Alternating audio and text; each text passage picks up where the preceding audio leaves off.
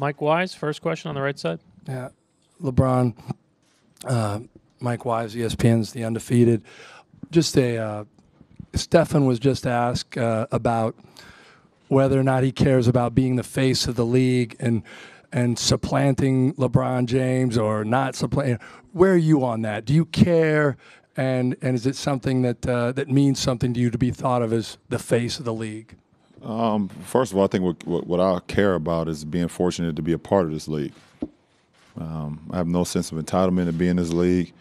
Um, this is a fraternity, and uh, for me to even be a part of the 400 plus groups that 400 plus guys that we have in our league, um, I think it's it's an honor, and that's what I focus on. Um, I also focus on being a role model to the youth that looks up to me and, and what I'm able to do, um, not only on the court but off the court. So.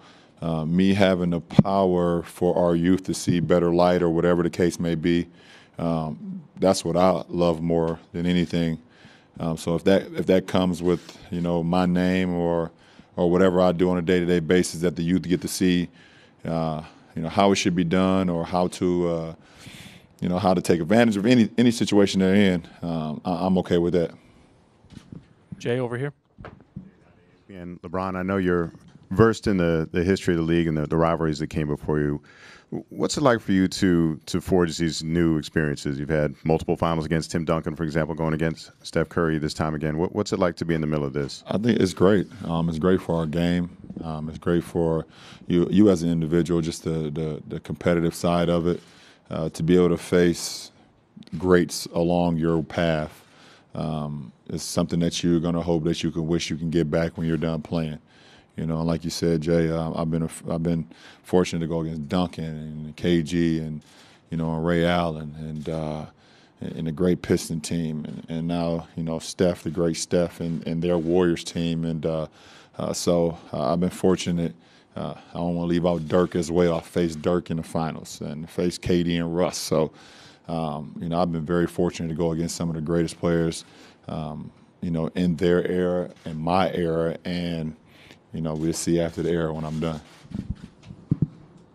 Kevin on the side. Uh, LeBron, Kevin Arnovitz, ESPN.com. On Friday, you spoke a lot about this newfound appreciation you have this postseason for what you've been able to accomplish. And for most people, getting to that new mindset is the result of specific events or conversations or just thoughts. I'm just wondering what prompted you specifically this offseason to get to this new mindset? Uh, it's not a new mindset. Um, I think people have taken it a little further than uh, where it should be. Um, uh, I had something just it was a feeling I was after we won Game Six in Toronto, and that's how I was feeling at that moment.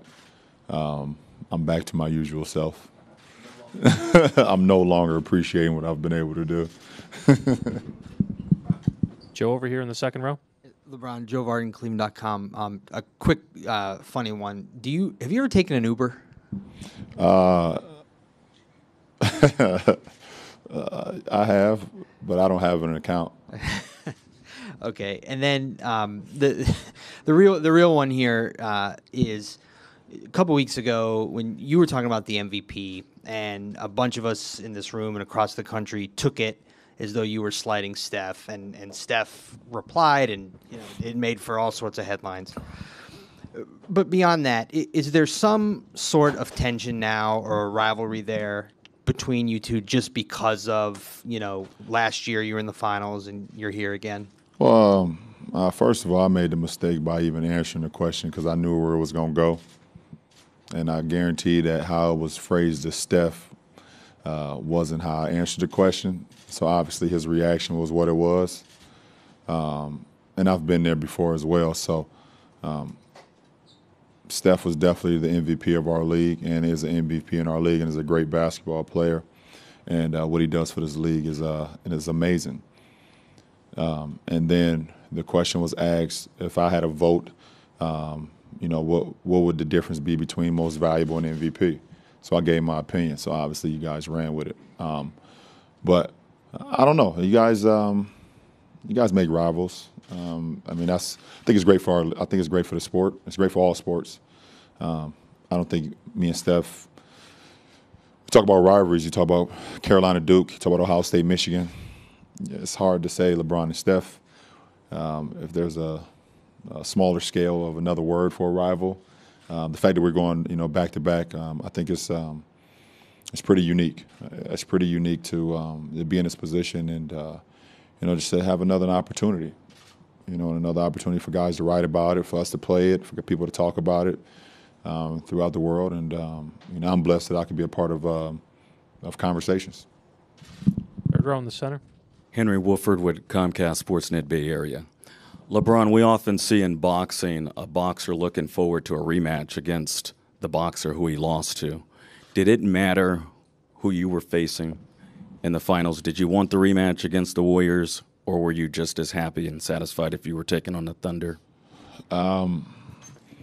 It, it, it didn't matter for us. Um, it was too hard for us to kind of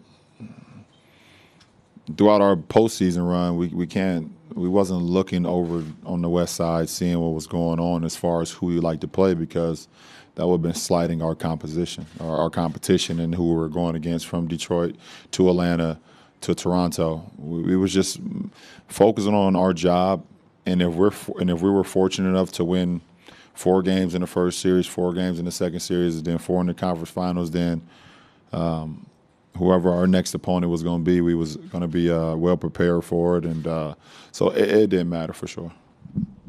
Dave over here.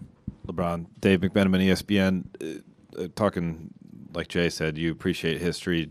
Andy Varejao is the first player ever to be traded from one team in the middle of the season, then play for the opposing team in the NBA Finals. With that context to it, and you in the past have called him one of your, you know, favorite teammates you, you've suited up with.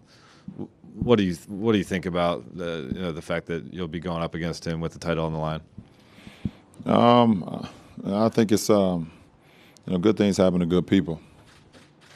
You know, so you know, either way, he would have been part of, of the finals, and uh, you know, he's done so much. Um, in his career, he sacrificed a lot, and uh, for him to be in this position, um, I, I think it's I think it's great. You know, for him and for his family, uh, no matter what has happened, you know, he would have been here anyways. Jeff in the back. Jeff Zillgitt, USA Today. Le- LeBron, when you returned to Cleveland, there's the idea uh, of, you know, obviously trying to bring a championship to Cleveland to the Cavaliers. How have you been able to minimize what you know a lot of people think is an immense amount of pressure? Um, I don't really get involved into the whole pressure thing. I think um, I've exceeded expectations in my life uh, as a professional. Um, I'm a statistic that was supposed to go the other way. You know, growing up in inner city, having a single parent household with just me and my mother. So um, everything that I've done has been a success. So, you know, as far as the game of basketball, I just go out and play it and have fun and love it and give and be true to the game and to my teammates and and uh, and live with the results. So I don't it don't really get to me too much. Mark in the second row. LeBron, Mark Schwarz, ESPN, following up on Dave's question about Andy. Um, how would you characterize, given his corporate knowledge of the Cleveland Cavaliers, your level of concern about his knowledge playing a role in this series? Well, we're a totally different team than when he left. And secondly, no matter how the series turns out, should he earn a ring either way? Uh, I mean, that's not it's not for me to debate or um, you know, from for me, I'm just trying to uh, put our team in the best best position to uh, to win game one and to uh, move on to the next game. But I haven't even I can't even go that far down the line right now. Lisa Su from Tencent. Um, at the end of the regular season, you were talking about